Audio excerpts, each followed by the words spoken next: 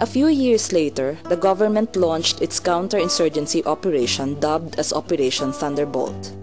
This caused the evacuation of the upland people to the town centers and other lowland areas.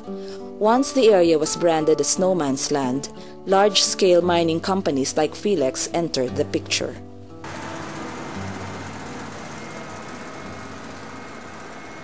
In the first place, I would say that uh, the uh, this is our public lands here, and uh, people actually established. Uh, what they did was to establish uh, some improvements, like for example planting and all those things.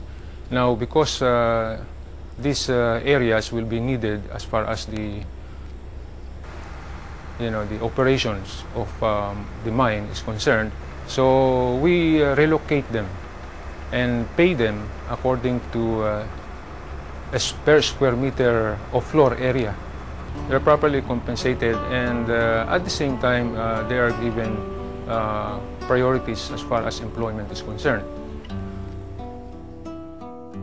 Singganan ko sila, ti paano na karon kinaguba ka na na. Ti imposible na karon kung hindi ni na mabayaran, pabayaran ko gina kinaguba na akong.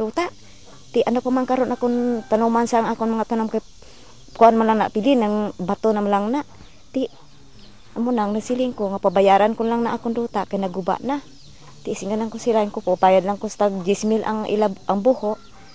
Dason nagsiling man sila nga hindi ko no sila mamayad kay exploration pa ko no. Ti nagsiling ko ti paano na nakaron akong duta kay naguba na. To settle disputes on damages, a municipal investigation and assessment team was set up.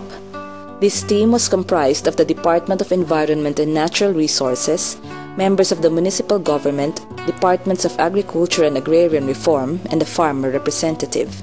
Pero ang farmer representative sa itong primero, appointed lang nila. Kaya kami yung mga mangungumagid ya sa naglain-lain niya barangay, way ya representative sa among uh, team. Kunya ang ah, hindi kami akumporme sang ginbayad sa amon kay ang ginaklim namon dutay kaayo ang ginabayad. The payments from Felix were considered as a one-time goodwill money. Farmers were made to sign a waiver in English indicating that it hereby acknowledged to have been received to my complete and entire hmm, satisfaction from Felix Philippines we did compare the uh, the amount they were claiming for against the uh, national uh, standard, no? Because uh, there is an s- statistical book, agriculture statistical book, and that became the basis for the payments. So there are discrepancies, and we try to point them out. But of course, the the poor farmer, I, I see some flaw here. The past dialogues with the Felix Mining had not been very helpful because uh, they were promising to compensate people for the damages that they experienced. But until now, uh, such an issue has not been resolved yet. They have the means to do that, but uh, they have been delaying uh, payment or they had not been paying uh, proportionate amount for the damages that uh, people experienced. The Catholic Church has taken a radical stand on the mining issue. A pastoral letter on the issue was read at Sunday Masses throughout the diocese. All these adverse social impacts far outweigh the gains promised by large-scale mining corporations. It is a common observation that a great majority of our poor people living in affected areas are still and a good number of them dislocated.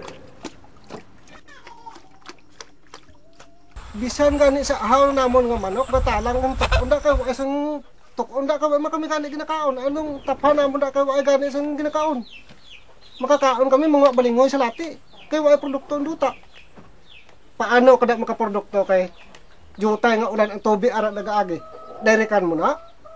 I-direct mo da kaunon mo na lang kay direct mo da hindi ka man nila pagbayad da akong perde ang pagtanaw ko ining ilang nga sabat nga halin sa kainginiros bisan libuton mo na din si Palay. Amo na ni siya sang pagsulod sa PDEX sang 1990s ah, 1990 hasta sang 1994 da wala pa kami kabatyag sa ginatawag nga perdi sang sa mga personal labnang, mga bato.